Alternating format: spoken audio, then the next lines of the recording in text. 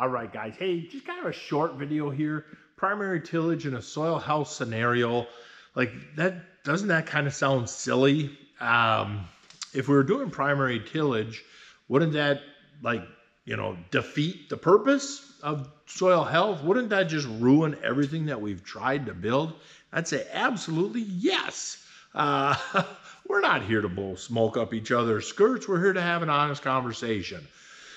I don't believe it would, you know, if you were here, you did soil health practices for some years, I don't believe one pass of primary tillage is going to take you back to ground zero, but it is going to set you back a little bit. But on day two, you're already back into soil health and you can keep improving that field.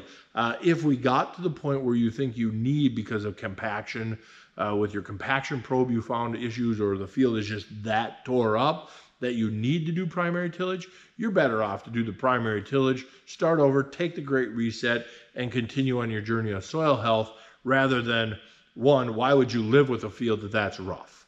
You know, if it's that rough, why would you even tolerate being out there bouncing around? And if it's that compacted, how much are you honestly moving soil health forward anyhow?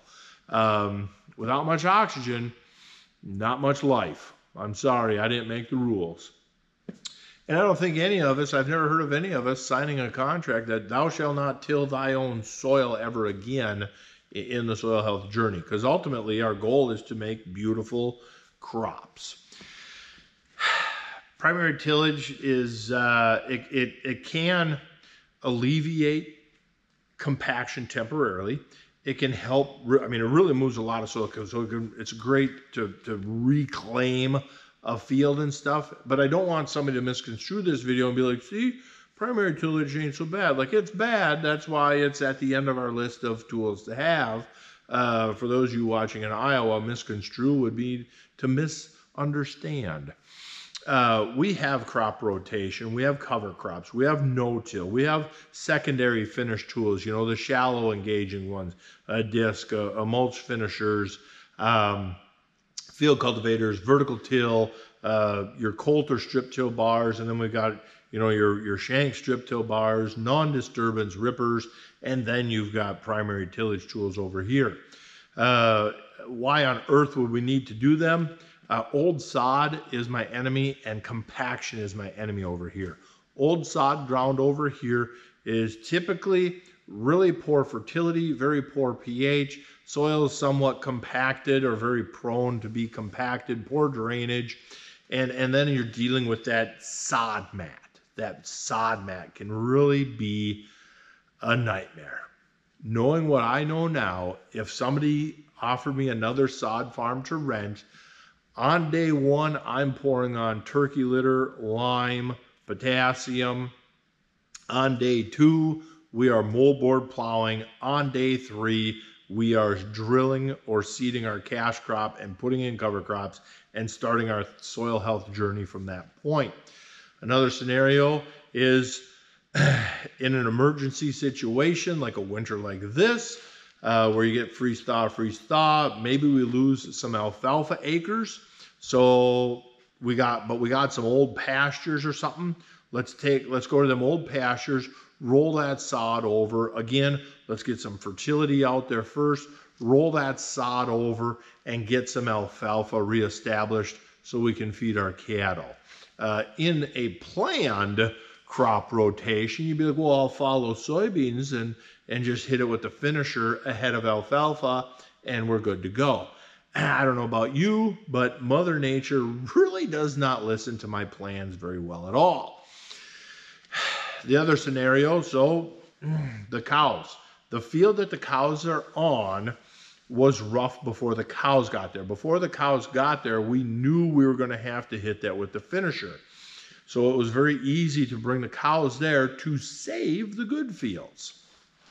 Now, going into this winter, I did not expect a mud season at fall, a mud season at Christmas, a mud season early February, and then we'll have a normal mud season come uh, end of March into April when the frost comes out again. Uh, you know, that one's normal. The one in March and April, that one we expect. We don't expect cows to be in mud in, in Christmas and February. Them, them were unexpected.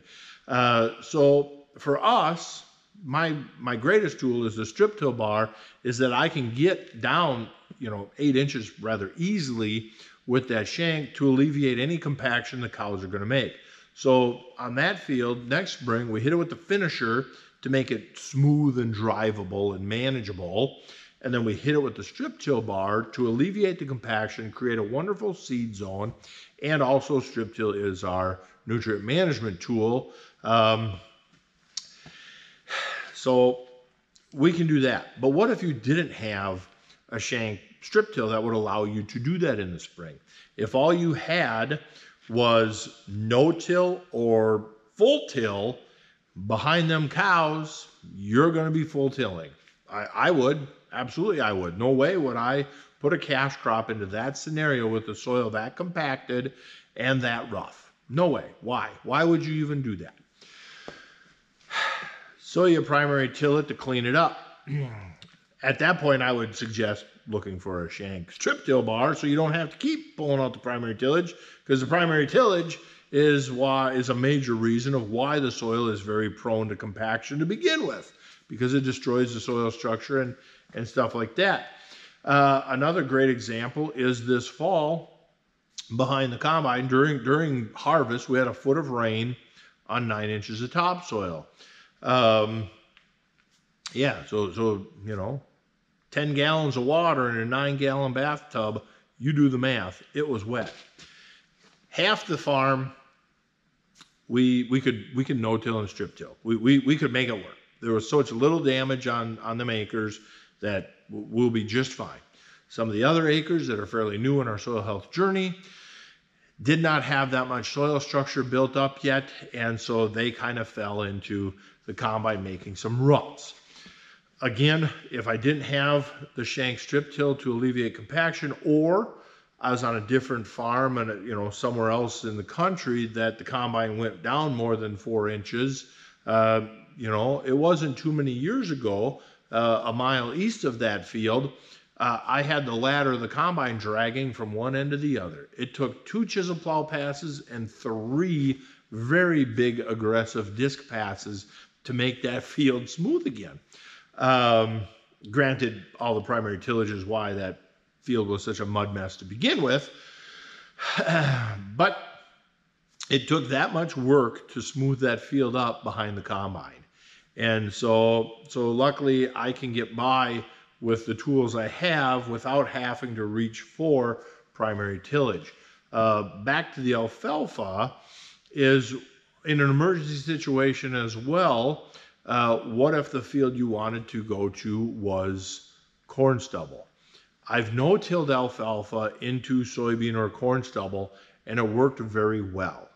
Um, no-tilling alfalfa into corn stubble to become a pasture for its first year or two, fantastic, would work awesome. I would do that again.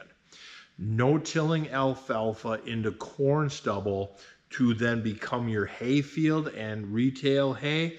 Never, ever, ever again in my life will I do that. One, the field became very rough. But the biggest thing is, the biggest thing is that that corn residue was drug across. You know, in my mind, I'm thinking, well, the cows will eat the corn residue. And if we baled up corn residue, they'll eat that bale. And cows eat alfalfa. So them two should go together just fine. Except by the time you got done running across that field, a lot of them stalks had a lot of contact with the soil. And when you raked it all up, you brought a tremendous amount of ash into the bales. And we actually had people, when you test your feed, are like, nope, the ash content is way too high for me. We can't take it. And you're like, well, I'm not losing money to, to try to be healthy. So, in an emergency situation, if I had to go into a corn stalk field to seed down a new alfalfa field, I will be moldboard plowing it. I'm sorry, I said what I said. Um, so there you have it. I'm just going to end right there. We've got our list of tools that we have on our farm. We've got some scenarios as to what could damage your fields enough to make you pull out the primary tillage. And we know that primary tillage is the root of all evil and and not a fixer. Um, so we want to use it as less least little as possible, but it is an, emergency tool that is there for us. Uh, not even an emergency tool. It's a tool that should stay fairly rusty, but once in a while, let's get it out before it completely freezes solid. I don't know. That'd be awesome to farm in a part of the country where uh, I could just never, ever, ever have to do that again in my life. But that's not the world I live in.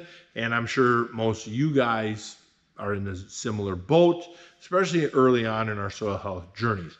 Talk to me 10 years from now, and I'll probably be laughing back at this video and being like, I can't believe I didn't know about this, this, and this. Like, what was I thinking? Um, and so, you guys let me know what you think and uh, your experiences, and we'll go from there. Thank you very much for watching.